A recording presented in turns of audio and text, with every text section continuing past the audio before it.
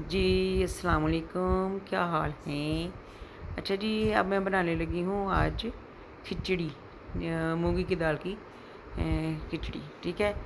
दोपहर का टाइम है, था तो हमें खिचड़ी खाने को दिल चाह, हांडी रोटी करने को दिल नहीं चाहता मैंने कहा पहले आटा कर लो, फिर हांडी पकाओ। चलो जी, खिचड़ी बनाते हैं।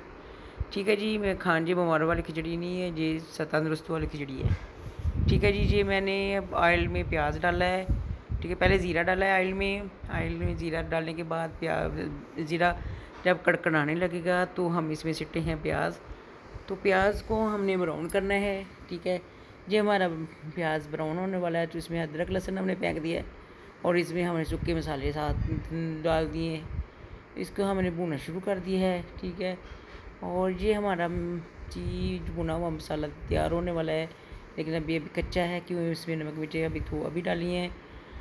ठीक है, अभी थोड़ा सा पानी का छिट्टा सटेंगे तो हमने इसको अच्छी तरह पकाना है ताकि मिर्चों, कच्ची मिर्ची ना ना रहें, संग को ना पड़े तो अच्छी मिर्ची बने।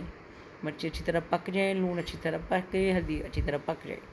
ठीक है जी, ये मसाला बनने के बाद हम इसमें डाली हैं चार पाँच मिर्चें सूती डंडी ला के। ठीक है, कभी हम डंडी वाली डाल देते हैं, कभी हम डंडी वाली ला के डालते हैं। और बीच में हमने इसमें डाला है कट।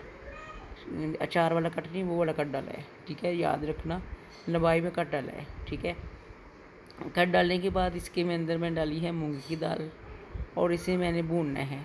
अच्छी तरह पहले मैंने चुनी है, चुनने के बाद हमने भगोई है और तकरीबन 10-15 मिनट के लिए भगो दी है, ठीक है? भगोने के बाद हम ये इसमें भूनेंगे। कितनी भूनेंगे? हमने कुकर इस्तेमाल नहीं करना, हमने दाल की हंडी इस्तेमाल करनी भूननी, ठीक है? तो ये देखें हमने अपनी दाल भूनी शुरू कर दी है। इसने पानी छड़ देता है। ठीक है जी, हमारी दाल भूननी है। अब इसमें हमें दाल चढ़ देते हैं। राइस, कच्चे चावल भी फेंक देते हैं। तो कच्चे चावल हमने डालने हैं तो हमने इस जब दोनों को मिक्स करना है।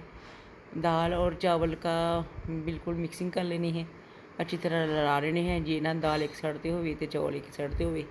ठीक है जी ये जी, देखें, हमने यहाँ हांडी में अब ये हमें चावल और दाल मिक्स पूरे नज़र आ रहे हैं ठीक है? अब डाल के इसे भुनने के बाद थोड़ा सा भुनना है ज़्यादा नहीं भुनना। अब हम इसके अंदर डाल लेंगे पानी इतना पानी डालेंगे जिसमें दोनों डिप हो जाएँ।